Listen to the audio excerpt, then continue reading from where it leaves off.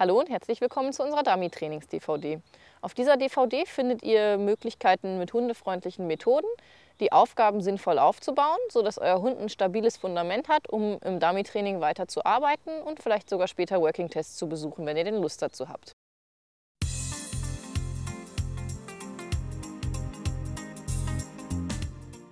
Die ersten Schritte fürs Einweisen könnt ihr super schön mit einem jungen Hund machen auf einen Futternapf. Das heißt, ihr nehmt einen Napf, tut ein paar Leckerchen oder euer normales Futter hinein, stellt das einige Meter entfernt auf, nehmt euren Hund mit, setzt ihn bei Fuß, wie ihr es geübt habt mit der Grundstellung. Oder im Zweifelsfall setzt ihn eben einfach nur mit Futter hin und stellt euch daneben, wenn der Hund wirklich noch sehr, sehr jung ist und ihr die Grundstellung noch nicht geübt habt. Das können anfangs nur ein paar Meter sein, also fünf Meter sowas auf den Napf. Stellt euch neben euren Hund und Überlegt euch, welches Ritual möchte ich zum Einweisen nehmen, welche Körpersprache. Da streiten sich die Geister. Manche stellen sich neben ihren, hinter ihren Hund und nehmen beide Hände rechts und links vom Kopf. Manche stellen sich neben den Hund und nehmen die linke Hand über den Kopf. Manche nehmen die rechte Hand zum Einweisen neben den Hund. Passt nur immer auf, dass ihr euch nicht schräg über den Hund beugt, dass ihr ihn nicht zur Seite wegdrängt. Der Hund sollte schön gerade sitzen. Und es ist eben wiederum wichtig, dass ihr ein klares Ritual habt, was ihr beibehaltet über die ganze Zeit, die ihr trainieren wollt. Wir helfen jetzt im Prinzip der Eve die ersten Male ein bisschen, dass ich ihr zeige, dass ich sie hier hinstelle. Und Carla kann den Hund jetzt ableihen. Der Hund soll noch sitzen bleiben. Sie kann den Hund sonst vorsichtig ein bisschen festhalten und macht ihr klares Ritual, was sie sich fürs Einweisen angewöhnt hat und schickt den Hund voran auf den Napf. Gebt euer Handzeichen. In dem Augenblick, wo ihr seht, dass der Hund sich gut fokussiert nach vorne, schickt ihr ihn los. Auch ohne mit Dummies zu arbeiten, könnt ihr mit dieser Übung das Voranschicken jetzt schon über Geländeübergänge machen und auch über längere Entfernungen und könnt damit schon ein bisschen aufbauen, dass euer Hund sich einfach an das Ritual gewöhnt. Könnt den Napf dann auch mal hinter ein Grasbüschel stellen oder sowas, dass er nicht gleich so offensichtlich sichtbar ist. Gewöhnt euch gleich bei dieser Grundübung an, dass ihr lange genug wartet, bis ihr den Hund schickt. Das heißt, wartet, bis er wirklich schön geradeaus fokussiert ist. Zur Not lasst den Helfer noch ein bisschen Action machen mit dem Napf, noch mal ein bisschen schütteln, dass der Hund wirklich sich nach vorne fokussiert wartet wirklich zwei Sekunden auf jeden Fall, bis ihr merkt, er fokussiert sich schön auf eure Hand voran und schickt ihn dann sauber auf Wort. Das heißt, macht keine große Handbewegung, sondern gewöhnt euch an, dass der Hund auf das Wort rausgehen soll.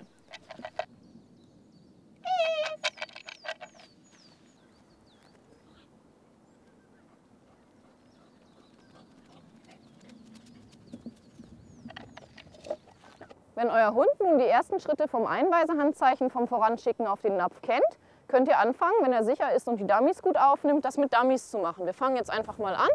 Und die Martina legt für Emmy ein Dummy in gerader Linie aus. Dort hinten an den Busch, den nehmen wir uns jetzt als Fixpunkt. Wir suchen uns entweder immer einen natürlichen Fixpunkt oder wir nehmen weiße Einweisestangen. In diesem Fall haben wir uns jetzt für einen Busch entschieden. Sie selber geht eine gerade Linie. Für die ersten Male zeigt dem Hund deutlich, wie sie das Dummy auslegt. Ihr solltet beim Einweisen darauf achten, dass der Hund am Anfang Rückenwind hat, damit er nicht zu früh anfängt zu suchen und schön gerade Linien geht. Je mehr er schrägen Wind hat oder Wind von, von der Seite oder von vorne, desto eher fängt er an, einen Bogen zu laufen oder zu früh zu suchen. Jetzt macht Martina schön klar ihr Einweiseritual, was die Emmy schon von vorangegangenen Übungen kennt, und schickt sie dann mit einem Wort voran. Dann gibt sie den Suchenpfiff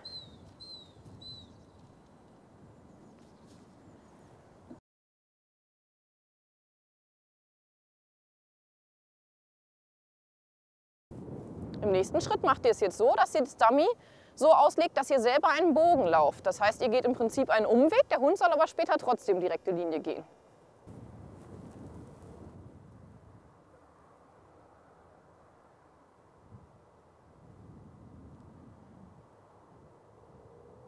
Die Einweisearbeit erfordert wirklich super viel Training und es ist ganz wichtig, dass ihr das dem Hund anfangs einfach macht, damit er auf jeden Fall Erfolg hat.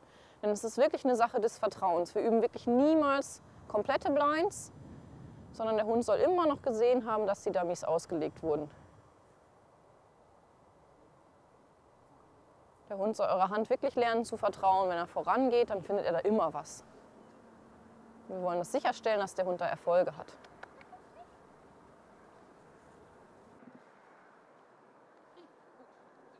Der nächste Schritt ist jetzt, dass der Hund sogenannte Half-Blinds arbeitet. Das heißt, dass der Helfer jetzt einen Dummy hier auslegt und wenn der Hund das Dummy hat und auf dem Rückweg ist, einen Dummy wieder auslegt, sodass der Hund also nicht zugucken konnte, wie das zweite Dummy ausgelegt wird, sondern dem, Hand, dem Hundeführer jetzt wirklich vertrauen muss und vorangehen muss auf die Hand und auf das Handzeichen.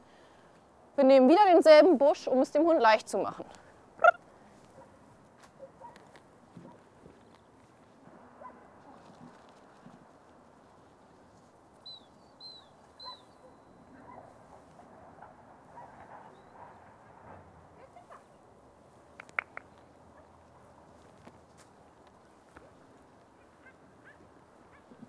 Hat die Emmy also nicht gesehen, dass ich es hingelegt habe, sondern muss jetzt Martina vertrauen.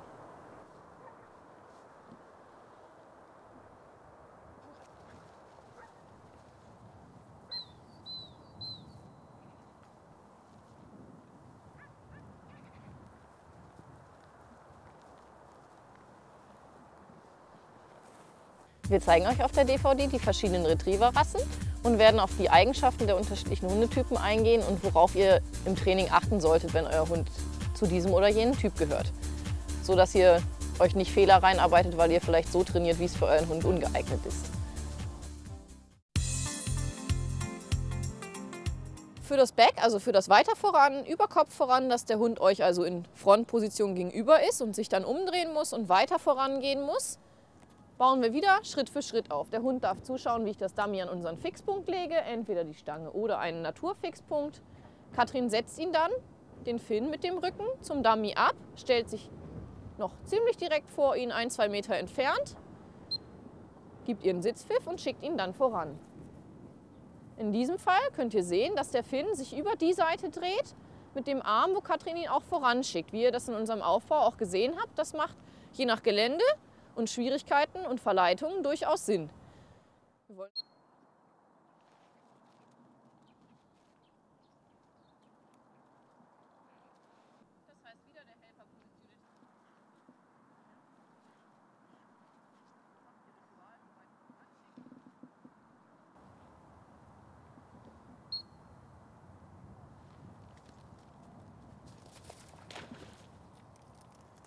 Man sieht sehr schön, dass der Finn wirklich direkte Linie geht und sehr schön durch die Büsche durch, obwohl er sich ja auch den einfacheren Weg hätte nehmen können.